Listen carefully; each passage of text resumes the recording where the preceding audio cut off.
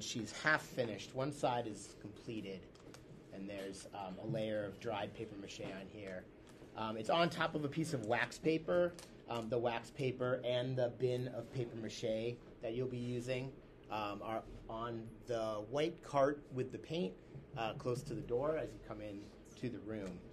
Um, so I'm just going to do a little bit on the other side here, which is still just tape. So her taped surface is pretty smooth and ready to be paper mache.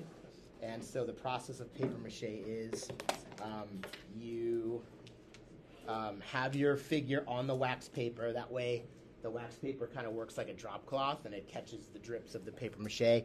And then when the paper mache is dry, the um, sculpture won't stick to the wax paper. Then to do the paper mache, you just take a paper towel from the towel dispensers up at the sinks, and then tear up your paper towel into little pieces, and then um, you just all you have to do is get the um, paper towel a little bit wet. You don't have to dunk it in. It shouldn't be like really soaked or or really you know like dripping.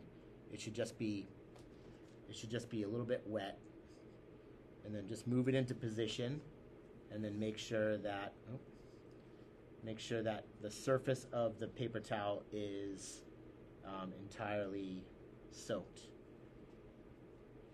and then you just leave it on the surface like that and then um, go around the surface of the figure and then uh, cover the whole surface with uh, your little paper mache uh, stickers that you make out of the paper towels.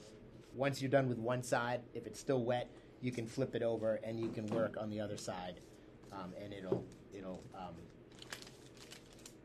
stay on the wax paper and won't stick.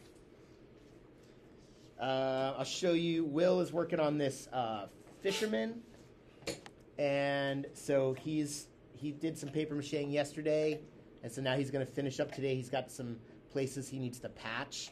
Once the paper mache dries, especially in uh, places where like um, the arms and legs are turning, you're going to see that the um, corners of the paper towel will peel up, and you can see where you might have missed a spot because it's kind of hard to tell um, when the paper mache is wet uh, if you've missed any spots. But you'll see once it dries, you can tell um, where you need to patch it. So Will's job today is he's going to maybe trim off some of these little corners that are sticking up, and then go around and then just patch up um, his uh, the um, the missing spot.